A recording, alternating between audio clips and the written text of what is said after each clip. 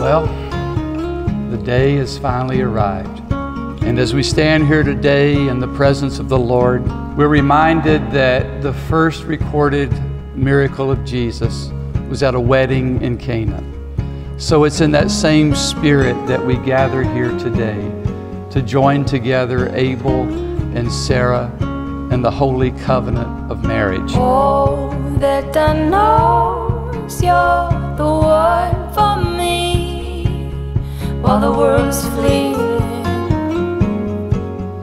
You're all I'm needing. No, there's nothing you could do to lose my love, even bad days, on the good.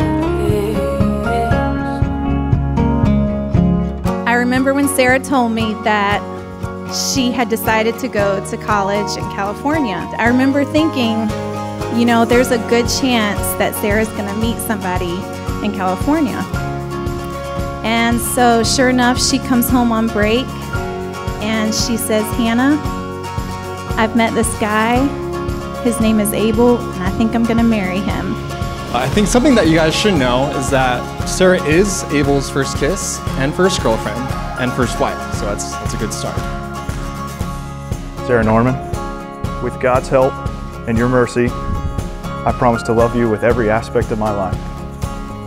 I promise to put the Lord first and foremost in my life so that I can learn from Him how to love you like I should. I promise to seek your well-being over the sake of mine. Sarah Norman, I vow to give all of my life to you. Abel, from the time I was old enough to comprehend what marriage was and what a husband was, I began praying for what I didn't know then, but was you. Most of my life I have prayed about what I want in a future husband and dreamt about what he would be like. And now looking at you as my soon-to-be husband, I am amazed at the goodness of Jesus Christ by blessing me with you. Abel, I give you and promise you my faithfulness, my respect, my whole heart, all of my love, and all that I am. I'm wholly yours from this day until God calls us home. Or for